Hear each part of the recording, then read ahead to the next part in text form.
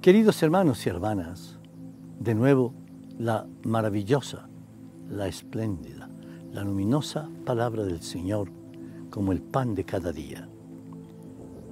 Del Evangelio de San Juan, capítulo octavo, versículos 31 a 42. A los judíos que habían aceptado su enseñanza, les dijo Jesús, si se mantienen fieles a mis palabras, serán de veras discípulos míos y conocerán la verdad, y la verdad los hará libres. Ellos le replicaron, nosotros somos hijos de Abraham, nunca hemos sido esclavos de nadie. ¿Por qué dices que llegaremos a ser libres? Jesús le respondió, les aseguro que todo el que comete pecado es esclavo del pecado. Y el esclavo no puede quedarse siempre en la casa. El Hijo sí se queda siempre. Por eso, si el Hijo los hace libres, serán libres de verdad.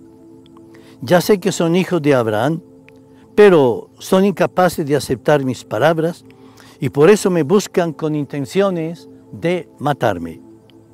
Yo digo lo que he visto en mi Padre, ustedes hacen lo que su Padre les mandó.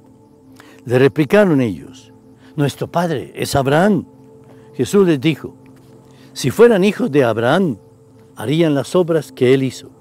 Pero me buscan con intenciones de matarme porque les he dicho la verdad que me ha mandado decir Dios. Eso no fue lo que hizo Abraham. Ustedes hacen las obras de su padre.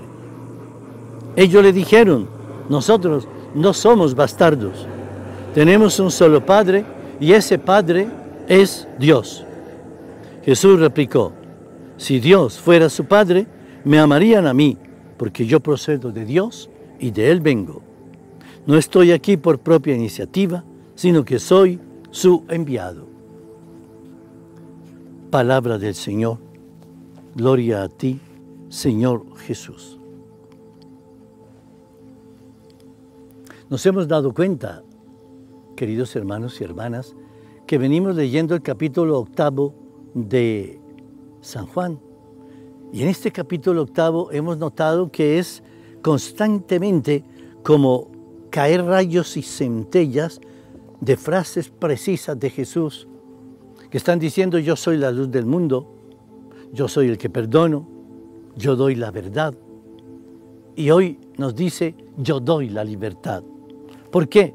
Porque Él es el perdón de los pecados, porque Él no nos quiere esclavos del mal, sino que nos quiere precisamente servidores libres en el bien. Él nos permite, nos da la gracia de vencer el pecado por su gracia y su perdón y sus consecuencias sociales. Ustedes se imaginan que todos nosotros nos comprometiéramos y quisiéramos no pecar. Toda la situación social cambiaría.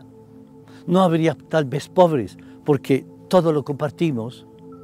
Habría más justicia porque no seríamos corruptos.